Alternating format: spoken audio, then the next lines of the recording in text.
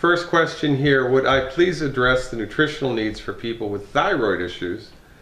I have two women, one has an overactive thyroid and the other an underactive thyroid. All right, well this is interesting, right?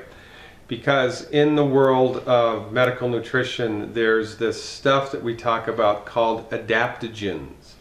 Adaptogenic nutrition upregulates or downregulates uh, body function, and it's the same therapeutic. So whether it's an overactive thyroid or an underactive thyroid, we give the body the same stuff. There's a little bit of tweakage there, but more or less we give the body the same stuff and the body figures it out all by itself.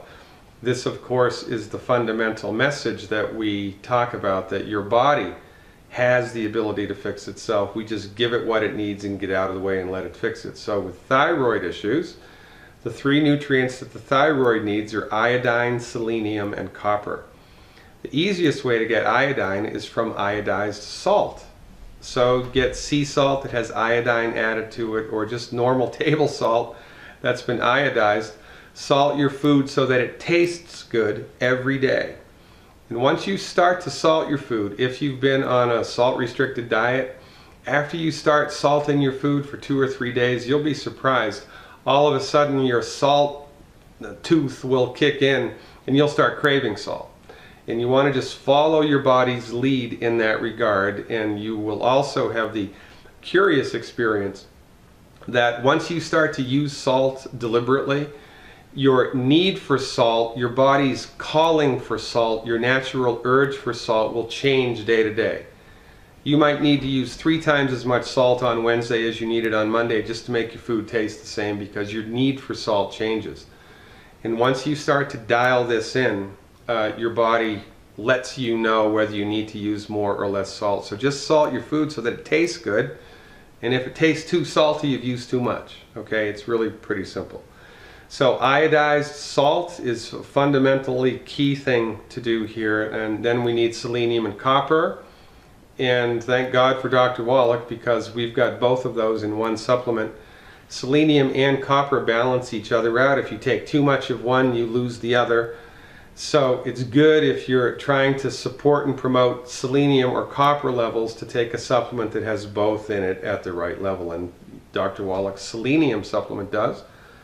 The recommendation is one bottle of selenium per 50 pounds of body weight per month, not to exceed more than four bottles a month. So after you've got the selenium, the copper, and the iodine handled, the only thing left is to give the body the other 87 essential nutrients, right? And that's the Healthy Start Pack.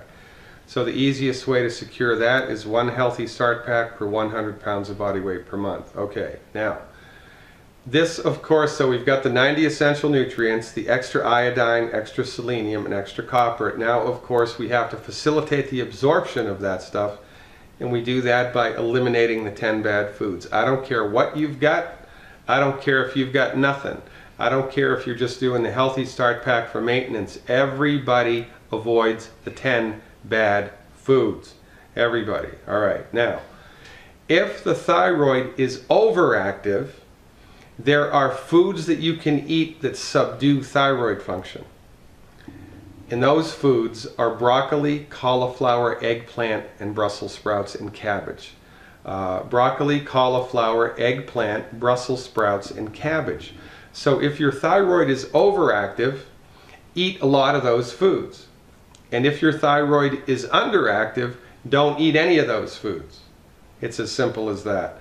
So avoid the 10 bad foods, nutrify the body appropriately, and then add or eliminate broccoli, cauliflower, eggplant, Brussels sprouts, and cabbage appropriately. All right, now, there's one last thing to do when there's a thyroid issue, and we need not overlook the obvious.